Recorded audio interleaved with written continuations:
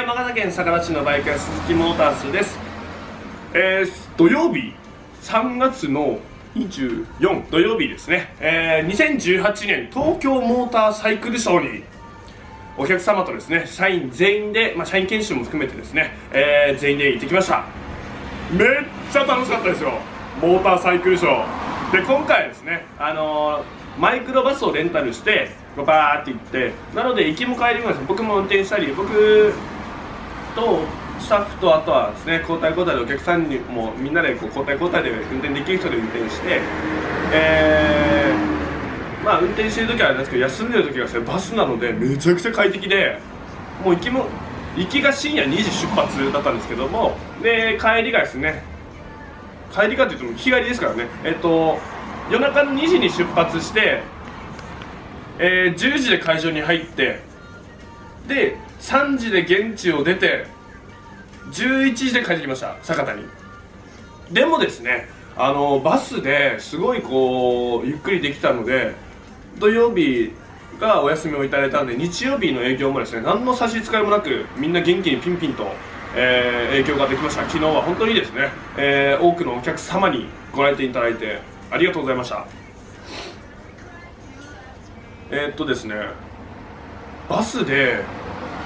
帰りのバスですねちょっと寝すぎて土曜日の夜中13時13時23時で帰ってきて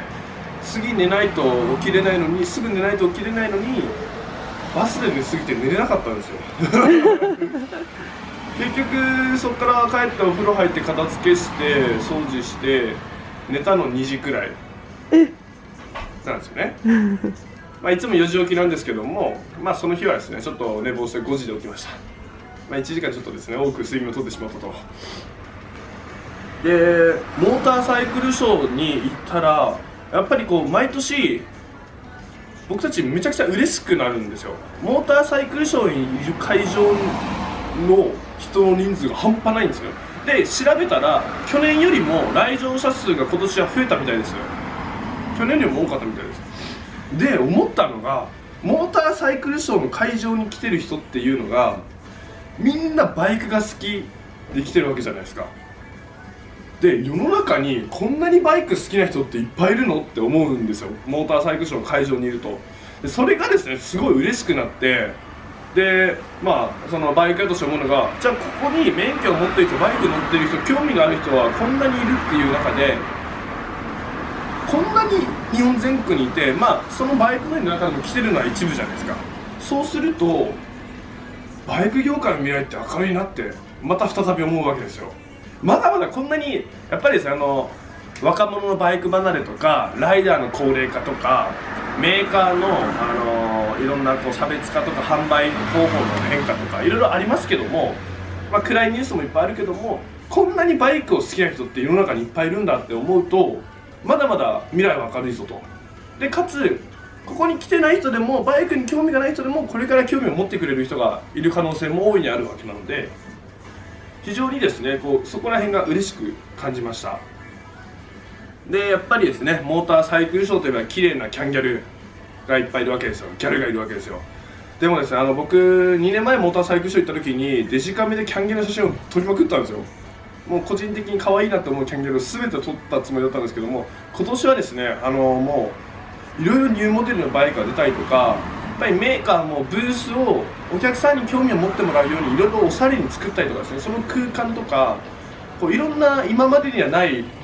メーカードルが今年は見られたんですよ。多くのブースで。でそれらをですね楽しんだりあとはこうレースの業界行った時にお世話になった人たちとかですね、いろんな方にお会いできていろいろご挨拶することができたのでキャンギャルを取る時間がなかったんですよ。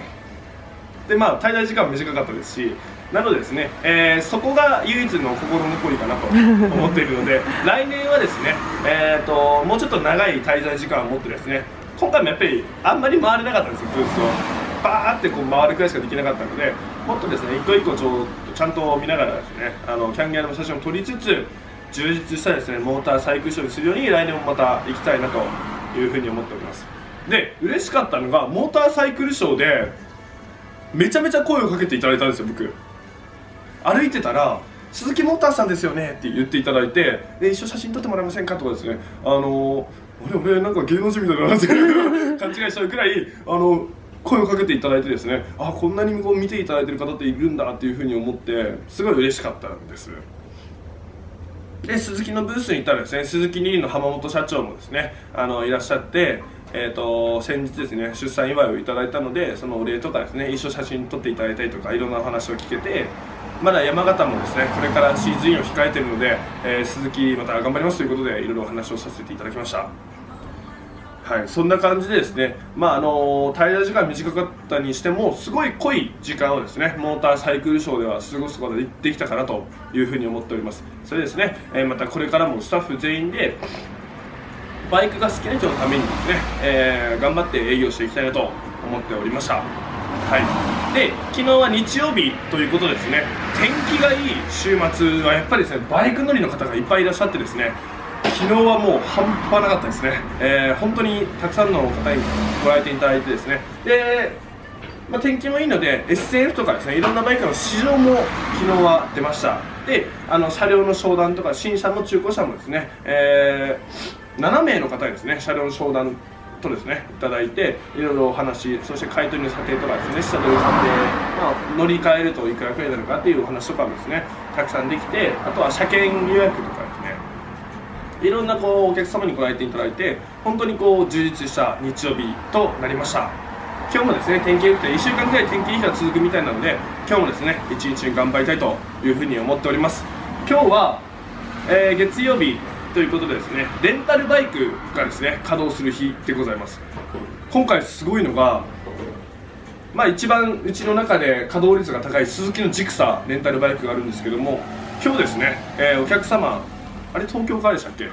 東京から。東京から。東京から鶴岡、まあ、庄内ですね来ていただいてあのー、足代わりとしてですね1週間ですよ。